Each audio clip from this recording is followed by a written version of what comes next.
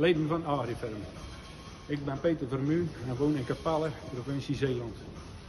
Ehm, ik heb samen met mijn vrouw, mijn zoon en mijn oudste dochter in Maalsap een melkveehouderijbedrijf met uh, 110 melkkoeien met bijbehorend jongvee.